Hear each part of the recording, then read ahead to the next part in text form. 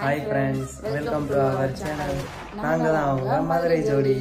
இன்னைக்கு சிவராத்திரின்றதுனால கோவிலுக்கு போயிட்டு வரவே லேட் ஆயிடுச்சு.